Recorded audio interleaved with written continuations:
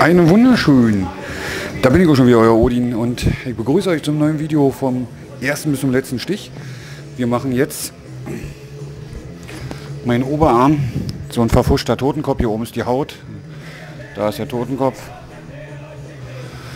Da will Wolle ein, also Wolle ist mein Tätowierer, das wissen ihr ja schon mittlerweile, in, äh, was war das, in, in Eber draus machen.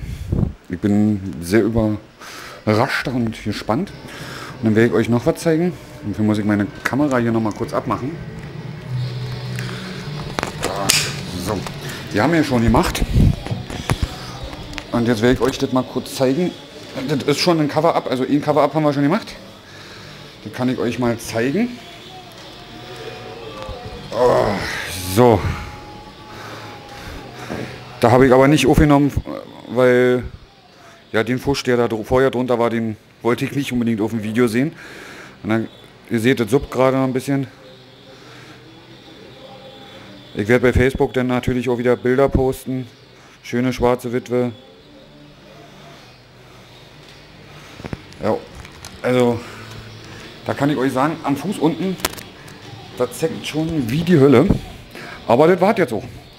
Ich mache nachher nochmal, wenn wir hier den, die Outlines drauf haben und so und die Grundlinien und dann werdet ihr auch überrascht sein, so wie ich.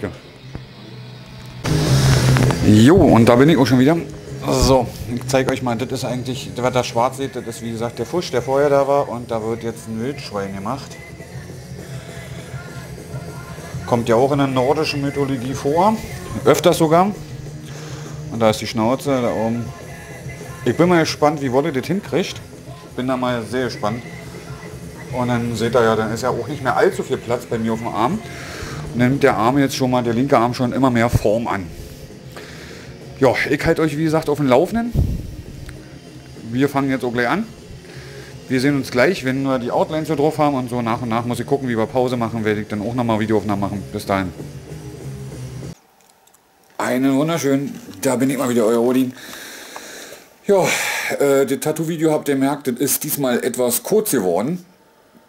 Und ich möchte euch jetzt nach ein paar Tagen äh, mal so das Endergebnis zeigen, wie es jetzt aussieht. Da muss ich erstmal meine Socke runter machen, dass ihr das sehen könnt. So. Ja, könnt da so mal den, die Spinne sehen.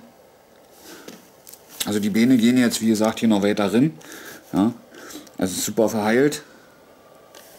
So, jetzt sieht man, scheiße, mit dem Bildschirm das gerade echt schlecht. Aber es ist gut geworden. Und es gut verheilt.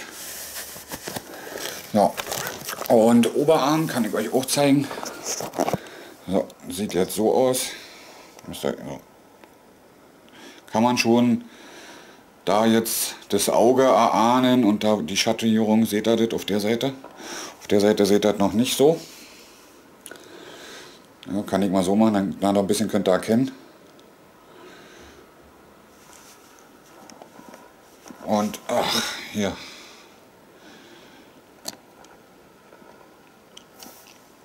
Also Cover-Up kann ich euch sagen, tut definitiv mehr weh als Normal-Tattoo. Ich bin mal gespannt. Wir haben uns für ein Wildschwein entschieden, da man den halb verkrüppelten Totenkopf damit am besten äh, wegbekommt. Ich habe mich da komplett auf meinen Tätowierer Wolle verlassen. Da bin ich jetzt mega gespannt, wie das jetzt wird hier. Wenn das komplett fertig ist. Ich habe mir entschieden noch, äh, wo die Sitzung vorbei war, weil wir wollten die Äste ja sowieso weiter hochziehen. Wir werden die jetzt komplett hochziehen über den ganzen Arm bis hier kurz vorm Schwein. Und da kommt ja noch die, der Kragen rum, also das Schwein kommt dann, ach, mal so, dass ich, kommt ja dann etwa bis hier runter. Und dann wollen wir hier unten noch so ein paar Wolken machen, so einen kleinen Abschluss sozusagen. Aber halt, dass die Wolken nicht so ins Schwein kommen, sondern so dazwischen sind. So. Weil der Lebensbaum, der geht ja auch durch die Wolken durch und da werden wir die Äste jetzt hier hochzimmern. Und ich hatte dann halt die Idee, dass wir die dann ins Schwein mit übergehen lassen. Praktisch so wie hier unten vom Totenkorb. So könnt ihr besser sehen, vom Totenkorb praktisch in den Baum hochgehen. Und so werden wir mit den Ästen auch machen. Dass wir die Äste dann praktisch ins Schwein ringehen lassen und um Schwein rum. Und auch hier in die, in die Innenseite. Und da will ich noch den Weg in Kompass und äh, das Hexenzeichen haben. Das, werde, das wird dann jetzt noch nicht so weit sein. Wir wollen jetzt erstmal am 21. habe ich die nächste Sitzung. Da wollen wir die Äste erstmal weiter hochzimmern und den Arm so weiter voll machen.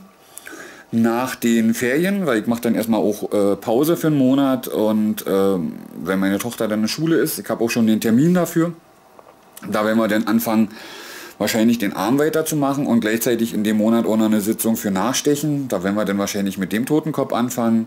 Oder wir werden den rechten erstmal, also äh, den linken Arm nehmen. Oder die Arme, das wissen wir noch nicht. Wir werden jedenfalls anfangen, dann langsam nachzustechen. Und der kommt dann danach dann dran. Wenn der Arm fertig ist oder zwischendurch rum kommt das hier noch weiter gemacht, da haben wir uns jetzt nicht so einen Plan gemacht. Wir wollen jetzt erstmal den, uns auf den linken Arm konzentrieren. So,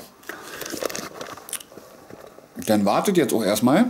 Ich habe, wie gesagt, am 21., also ein paar Tagen, habe ich das, äh, ja gut, über eine Woche noch hin, ja, über eine Woche, habe ich die nächste Sitzung und da werde ich zwei Videos machen, das hatte ich ja schon mal angekündigt. Einmal das Tattoo-Video und dann ein ganz kurzes zweites Video noch.